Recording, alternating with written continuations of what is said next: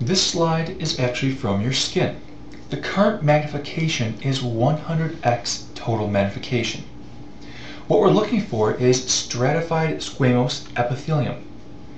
Now, with stratified squamous epithelium, you can have either the keratinized or non-keratinized type. In this particular slide, we can see this is the keratinized stratified squamous epithelium. So let's zoom in on this area up here. What we're seeing now is going to be many cells forming a very thick layer. So from this portion right where the mouse is currently, which is the basal surface, up through this layer of pink, this then is the apical surface. All these are multiple layers of squamous cells.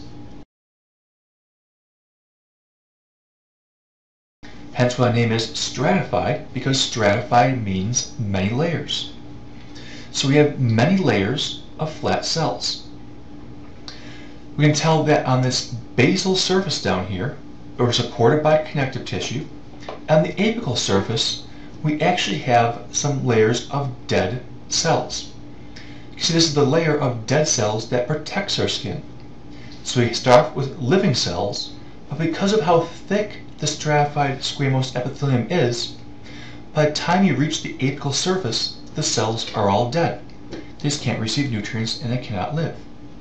This is partly why we have a nice protective layer around our skin. Many layers, but then this nice dead layer that really protects us very efficiently.